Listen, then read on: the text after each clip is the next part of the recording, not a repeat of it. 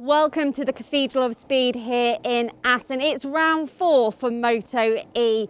Alessandro Zaccone comes in leading the cup standings by a single point and there was another first time winner last time out in Catalonia.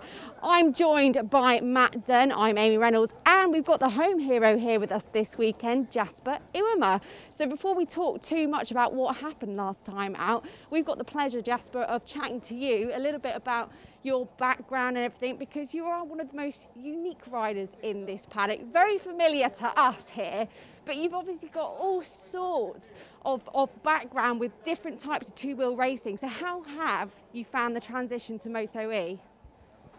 Well, yeah, of, uh, for me it has been a long time ago that I've been in this paddock. Uh, last full season was 2013 and 14 and 15 I did some races. Um, after that I switched to something completely random in, into ice speedway. Uh, to coming back after eight years back on the asphalt, it's very difficult and especially with a different kind of bike and uh, something electric. Uh, gives a lot of reasons why it's quite difficult and tough. But hey, I, I love uh, a different path of my career uh, like, like normal riders do. So I'm enjoying it and having fun and it feels like a, a bit like the old 502 stroke days uh, with this hmm. kind of bikes to be honest. Yeah, because here there's no traction control, so you, what you give is what you get. and yeah, it's it's, it's all in the right hand, Jasper. Yeah, it's, it's, it's, it's nice because you can try to spin it a bit. I'm not on that level yet, but I, I feel the potential of the bike and it feels really like a 502 stroke and I love that. Yeah, yeah. Do, do, you reckon coming into this weekend, and I mean, we spoke just before, it's been what, five years since you raced here, but eight in general to the other circuits. Given it's a bit more fresh in your memory, have you got a bit more potential here this weekend? Well, um, I think so. Yeah. First of all, uh, like you said, uh, Jerez and Barcelona and Le Mans were eight years ago. I've been on that track, so that's yeah. quite difficult and hard. Here, I'm being resent uh, riding more often. I was thinking on the way to here not that I have a long trip to go, but uh, where is home? Is it's only close? seven kilometers, so I could do it on bicycle. But um, I was thinking, like, when was the last time I was, I was racing here? And I think it must be like five years ago. Wow. But it's still more fresh in the mind, and I, I have spent anyway a lot of laps on this track, so it could be a bit of an advantage, especially because you don't have many track time with the Moto E. So I know the track, and I start to be more and more racing with these bikes instead of riding. Uh, so I, I, I feel like I'm ready to make a nice surprise result. Sounds exciting. Uh, well, for Moto E in general, it's the first time we've been here in Assen. So, Jasper, what is going to be key about attacking this circuit on the Moto E bike? That's a good question. He'll find out in free uh, practice. yeah, yeah, we'll find out in free practice number one. No, it's it's a special character of the track. Um, for me, here you need a lot of corner speed in, in special sections, and you need to uh, you need to combine the the, the corner as well.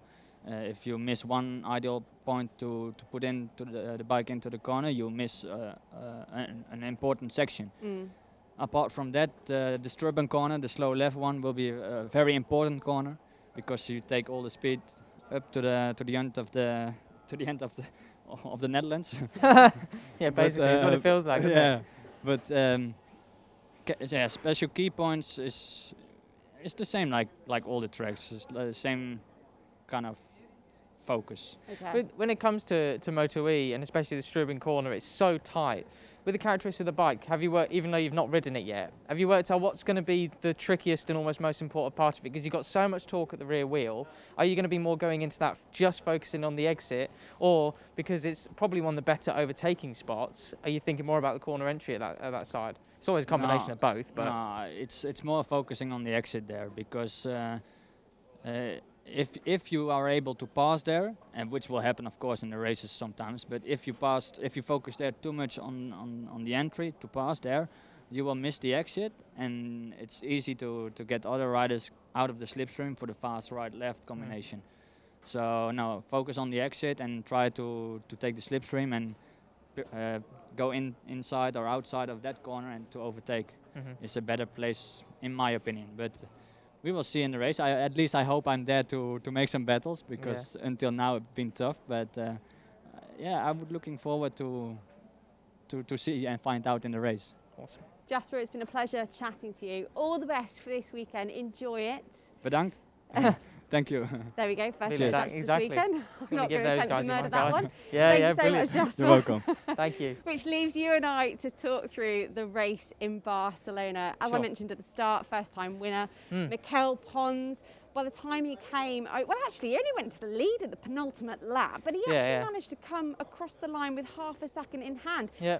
Did we see that coming at any point earlier in the weekend? Uh, no, we, I think we've seen. Uh, I was thinking about this, obviously knowing you, you were going to ask me that, and actually we've seen quite a bit of potential from Mikel Pons, but unfortunately not seeing it in a race because he sort he got I think second on the grid in Le Mans. Really impressive e-pole session there. That was one in the wet as well. But then we didn't get to see him actually show that potential in the race because he binned it rather embarrassingly on the sighting lap. Um, so that was just a real no-go. You couldn't see it there. But then, of course, he qualified second row in uh, Barcelona, and we saw in the dry how strong he was. I guess he's got a bit more experience around that circuit, being from Mallorca, just a stone's throw away over the sea uh, in Barcelona. So we, uh, we saw he was fast, but I didn't think we'd see him actually manage to take the victory and also pull out a bit of a gap that no one had an answer for him on the final lap. He was aided a little bit though by some yellow flags, though, Mm. wasn't he? Well, I was going to ask you about that. The yellow flags obviously came out for Mattia Casadei's crash Yeah. on that penultimate lap as well. Real shame because he was out of podium contention there. But do you think that's ultimately what decided those final two spots of the podium as well? Or would you think Torres might have had something for Aegerter on He- that last lap? He might have done, but I think I can't remember where, he said it. But in one part of my interview, he said, "Oh, my only problem is Dominic Aegerter," you know, and because he's Domi is clearly so so talented at defending his line. Yeah. I mean, you got to have that sort of experience. The guy races in World Supersport at 600, so you know they don't call that class the axe murderers class for nothing.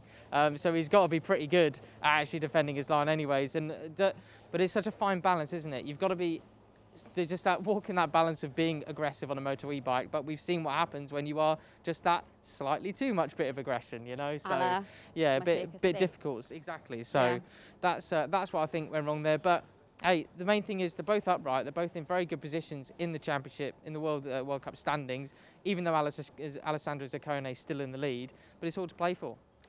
And I just also wanted to pick out Yonny, Yonny Hernandez, Mm. who had a best finish of fifth.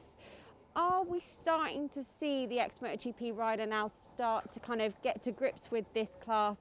And could we potentially see him challenging for a podium? Why not here this weekend? Yeah, exactly. It's a complete new playing field for everybody, isn't it? No one's been here before on a motor e-bike. Jasper himself hasn't been here for five years. Some of them, eh, Yonny won't have been here for as many years as well. But they'll still, I mean, Yonny had one of his best results in MotoGP here, or was on course for that, wasn't he? So, yeah, let's let's see. I, I would certainly like to see him up there. I mean, the guy, I just enjoy watching him on a lap on his own, anyways, because he's all action, isn't he? He's Smoke cool. billowing off the rear and.